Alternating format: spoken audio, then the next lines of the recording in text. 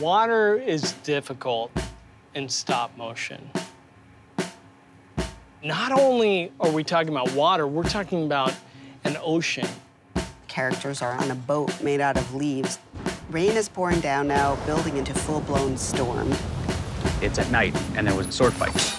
Puppets are jumping off of a boat into the water, splashing through the water, both above the water and below the water. coming up out of the water. They're wet, they're getting back onto the origami boat. It's a rainstorm that's happening. It was crazy.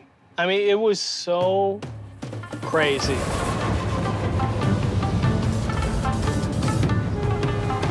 There were definitely times where I felt like we bit off more than we could chew. You know, characters animating in water, bad idea.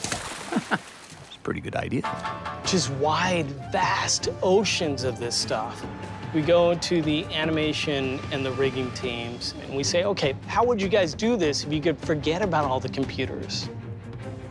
We take all of that practical reference, we do a photorealistic interpretation, and then we start to iterate.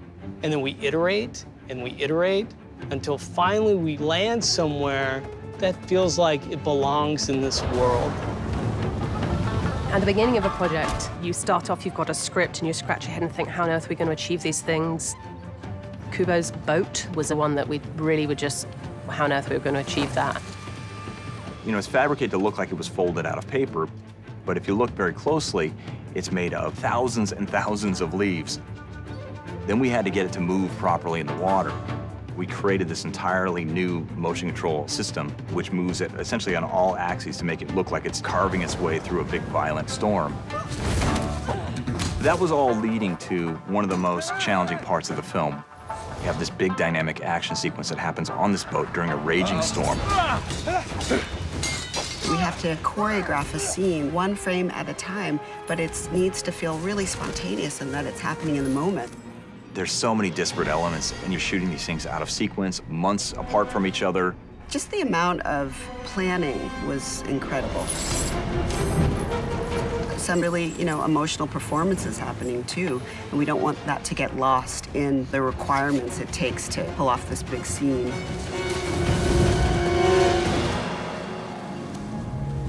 If you looked at the beginning of the process and thought, how are we ever going to do this?